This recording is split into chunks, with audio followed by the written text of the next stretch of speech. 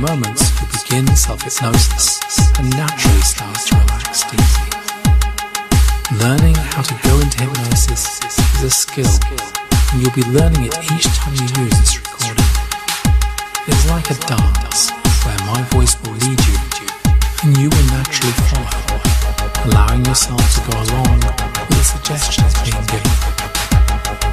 If you're telling yourself, this isn't working, then that indeed is the reason that it isn't working. Convincing yourself that it is working is perhaps the very essence of hypnosis.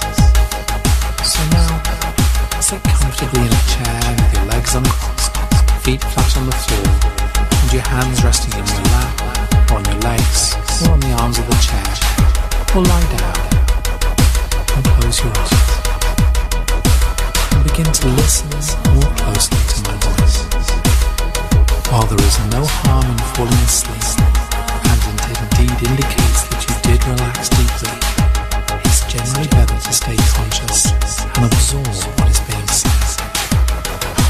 In a few moments, I'm going to ask you to look up above your head at an imaginary point of light. In this way, your eyes will be turned strongly upward and start to feel strained and very tired. And I'll begin to count down from five down to one until the eyes naturally close by the time I've counted down to one. So now open your eyes and turn them upwards to gaze at a spot nearly directly above you. And imagine a point of light shining directly into your eyes.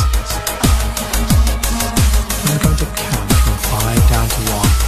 As I do so, your eyes begin to feel tired and heavy, like they want to close.